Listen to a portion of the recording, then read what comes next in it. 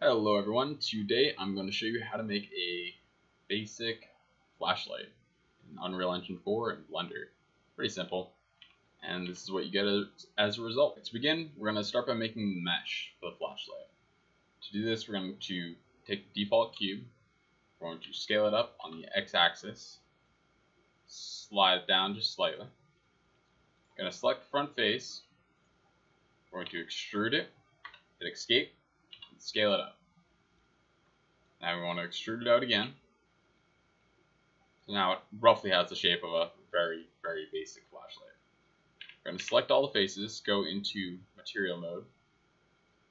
Going to assign them to the first material, create a second material, uh, change the diffuse color just so we can see the difference, change it to red. And we want to select the front face and assign that to the second material slot. That's all there is for creating the material, and the mesh. Alright, now we need to export it. Export FBX. Go to just random folder. We'll call this flashlight. Export FBX. Sure all those settings are probably fine. There's our flashlight. Let's create a new material. Call it M underscore flashlight. And this is going to be the material that is for the lit up portion right on the front, where we created that second material slot. So the first thing we're going to need to do is have a color for the on state and the off state. So we're going to create two vector parameters. First one will be for the off state, which will make gray. The second one will be for the on state, which will be yellow. Then we're going to want to lerp those together, connect up base color, connect the A pin to the off state, the B pin to the on state. And for the alpha, we're going to use a scalar parameter. And we're going to call that light on.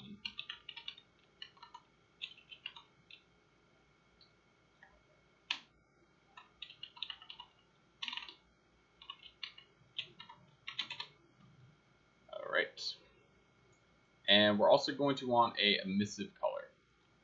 So we're going to do something similar. We're going to use lerp, connect up to the emissive color. We're going to connect the yellow to the B pin, and the light on to the alpha. And that should, if we test it here, should make it yellow. That's kind of a dull yellow, so let's add in a multiply. And let's crank it up to, say, nice and bright now. Alright, that looks good. So we'll apply it. We'll go back and let's create a second material just for the body. Just call it body. And we'll just make this very basic material. Add in the color, make it say red. And then we'll apply. Alright. Now, we can select our flashlight and open it. Set the second material to our flashlight, and the first to the body. You can see it's reflected there. And we will now create a blueprint class actor. name this BP underscore flashlight. Open it up. And we'll need a static mesh. And we will need a point light. Not point light, a spotlight. Alright, go to static mesh. We will flashlight, set it to our flashlight. And that's pretty large, so let's scale it down to say 0.2 and we'll take our spotlight and position it as we need it. Right about there. Intensity is about 5,000. It's going to be normally on, so we will set everything to visible. And compile. Move to the event graph. We're going to activate and deactivate on key press, so we'll use Q. Then we'll do a flip flop. Connect that that up to pressed. And since in a, since it's in a normally on state, we're going to want to take the spotlight, and when the A pin is activated, we want to deactivate it. So we're going to set the intensity. Actually, we'll just set the visibility. Much simpler. I'll set it to new visibility false, which will turn it off. And since we want to change the static meshes material, we will say set parameter, set scalar parameter on materials, and we will set this to our light light on. I'll connect that up. And since 0 is the off state, we'll set it to 0. Next we will copy these two and this will allow us to easily change it to an on state.